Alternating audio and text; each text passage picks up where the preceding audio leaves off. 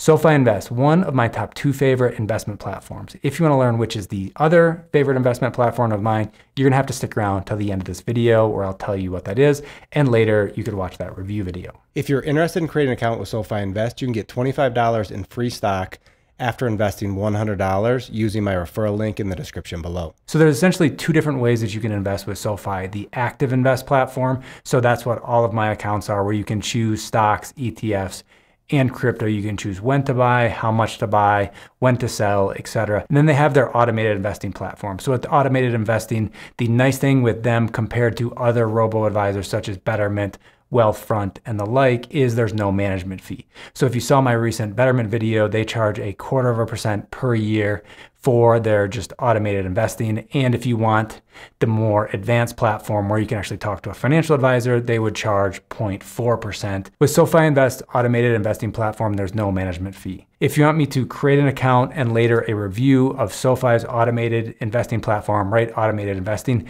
down below in the comments, and I'd gladly create the video. So to give you a super quick overview of why I like SoFi Invest so much is I think it's great for long-term investors and for beginner investors. So we're going to get into all the different pros and cons of SoFi Invest. But I think if you're just getting started and want to invest for the long term, SoFi Invest is a great place to start. Before we go further in this video, I want to mention I'm not a financial advisor and nothing in this video is financial advice. Before purchasing any stock, ETF, cryptocurrency, or making any other investment, you want to make sure to do your own research. One of the reasons I like SoFi Invest is the different options they have for account types. So you have a traditional taxable brokerage, you have traditional IRAs, Roth IRAs, SEP IRAs. And so you can decide the type of investment or the type of account you want to have that each of them has their own tax advantages and disadvantages that I've talked about in some other videos. But some of the platforms such as Robinhood or Public, you just have a taxable brokerage. You don't have the retirement account options, which I think are really important if you're investing for the long term and want to save money on your taxes. Now let's go through three features that SoFi Invest has that are fairly common across the board, but I wouldn't create an account with an investment platform that doesn't offer these three options. The first of which is commission-free trading. So the industry standard now is to not charge commission when buying or selling stocks or ETFs. This is true with SoFi Invest and a lot of the other investment platforms. The second feature is the ability to purchase fractional shares. So shares such as Amazon, Tesla, Google, Berkshire Hathaway, and a bunch of ETFs are hundreds or thousands of dollars. So if you want to set up recurring deposits, which we're going to talk about in a second, for say 10, 20, 50 dollars per week or per month, you're not going to be able to buy those shares because they're too expensive. But with fractional shares, you can essentially set up the amount that you want to purchase and purchase very, very small amounts of your favorite stocks and ETFs and not have to purchase a full share. The third feature I couldn't live without in an investment platform is the ability to set up recurring purchases. So to be able to set it and forget it and to know that your investment account balance is going to continue to grow because on a recurring basis, you are making new investments on a weekly, bi-weekly, or monthly basis. And so I have a whole course about automating your finances and recurring deposits or investments is an important part of that. If you're interested in signing up for the free course, check out the link in the description below. But let me just show you how easy it is to set up a recurring deposit. So let's say I wanted to invest every week in Google shares. So I just search for Google. Here is the summary of Google. I thought this would be helpful to see as well. So you can see the the last price. So I'm recording this over the weekend, so the market's closed right now, but I can look at it over the last day, week, month, three months, year, and five years. There's a little bit of a summary. There's some recent news. There is investor activity. So there is a bit of a social aspect to SoFi. I don't necessarily participate or share my trades or what I follow on the platform, but that is available. And then along the right hand side, you're gonna see my investment. So I own $61.49 of Google right now. Here's the 2.6% of a share that I own, the average cost. I've actually lost five, $4.49 is down 6.81%. But down below, this is the summary that everybody would see. So the daily high, daily low, price open, 52 week high and low, the market cap, dividend yield, volume, average volume, PE ratio. So that's just a quick summary while we're on our way to set up a recurring purchase. So to do that, I just click on add a recurring purchase. And the first thing you need to choose is how frequently. So is it weekly? So then you choose the day of the week that you'd like to do it every two weeks, monthly. Let's say weekly on Mondays, that works fine. So select that.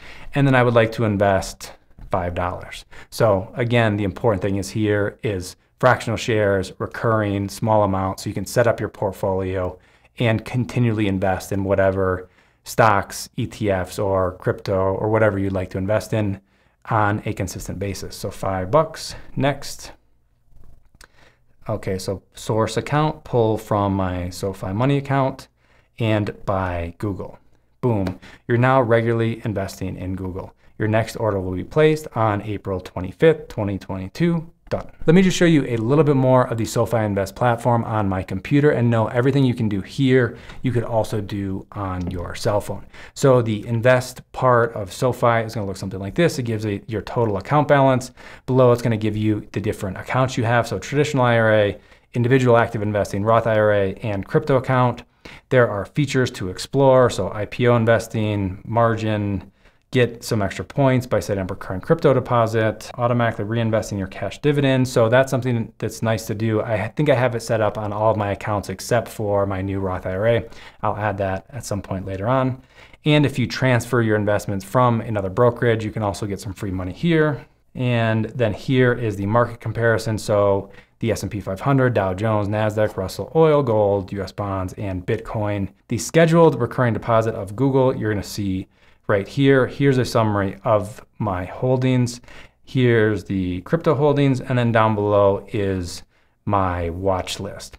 So something that's nice is to be able to see the watch list of companies, companies or ETFs or cryptocurrencies that you haven't yet invested in, but you want to keep track of. So if you want to add something new to your watch list, it's really easy to do right here. So I think I searched for Ford earlier. So if that's what I want to do, I could just click on Ford, search for it, whatever. And here's what the screen comes up for them. And if I wanted to add them to my watch list, there we go, now on my watch list. One other thing I wanna show you really quickly while reviewing the investment platform is what it looks like when you're looking at ETFs. So if I looked at Vanguard, which of their ETFs do we want to view today? How about their Vanguard Large Cap ETF? So if we click off the search, then we can view everything a little bit easier. And so along the right-hand side, a lot of the stuff that we saw for individual stocks is here. Here, the daily high and low, the price, uh, the dividend yield, volume, PE ratio, SEC yield, and then the other thing is the expense ratio. The expense ratio for ETFs can vary quite a bit. Something like investing in large cap US stocks in generally is going to be pretty low like this, but if it's investing in small cap stocks, in high yield debt, in foreign bonds, or something like that, you may see expense ratios quite a bit higher. The other thing that you can view when you're looking at ETFs is their top 10 holdings. So if you want to know what actual stocks, bonds, or other investments you're going to be holding. By investing in this ETF, you can view at least the largest investments right here. So this ETF is invested in Apple, Amazon, Google, NVIDIA, Meta, Microsoft, Tesla, Google, Berkshire Hathaway, and United Health Group. If you wanted to view more, you could probably go to, in this case, Vanguard's website and get a longer list of the investments that they're investing in with this ETF. But just know, as you're looking to compare stocks, ETFs, cryptocurrencies, you have quite a bit of information here within the SoFi Invest platform. A very unique feature to SoFi Invest is the ability to speak to a financial advisor for free. So if you use a platform such as Betterment, the normal management fee is 0.25%. If you want to actually talk to a live person, either over the phone or through chat, you need to have at least a $100,000 balance and you need to pay 0.4% as opposed to 0.25%. So that gets to be quite expensive where with SoFi Invest, you can talk to a financial advisor for free. It's really easy to set up. Let me actually show you how this worked. I have not scheduled my call with a financial advisor yet, but it's something that I plan on doing soon. So if you click on your name at the top right and then go to membership. And then here you're going to see all the things that are available to SoFi members.